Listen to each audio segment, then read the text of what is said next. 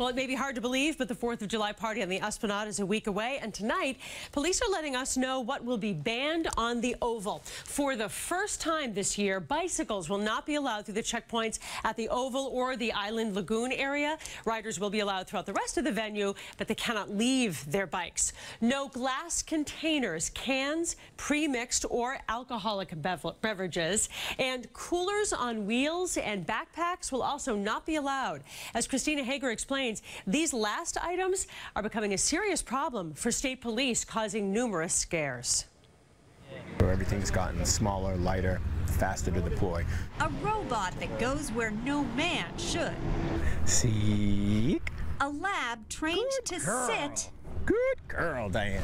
When she smells things that blow up. Show me. Their tools getting more use now than ever before. In three years, calls to the bomb squad to check possible explosives and suspicious items like backpacks have more than doubled. And since the marathon bombings, We've seen probably an average of a 30 to 40 percent increase um, in 2013. at the Esplanade, where the stage is already being set for the Pops celebration, people admit unattended bags put them on edge.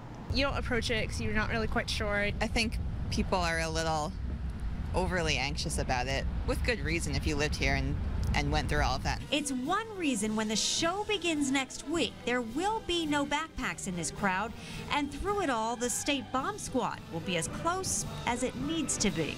This robot has five tiny cameras on it, so it can be the eyes on a situation, while a bomb technician can watch from a safe distance. Pricey technology, and experts say the onslaught of calls adds up to can use all tens of thousands of dollars a year. Kind of like you look at some of the tactics that have been deployed and some of the threats we face internationally and certainly nationally now. Uh, you know, it might be a bag, it might be a vehicle parked in the wrong place. We've learned the hard way not to take chances, especially at times like this. Christina Hager, WBZ News.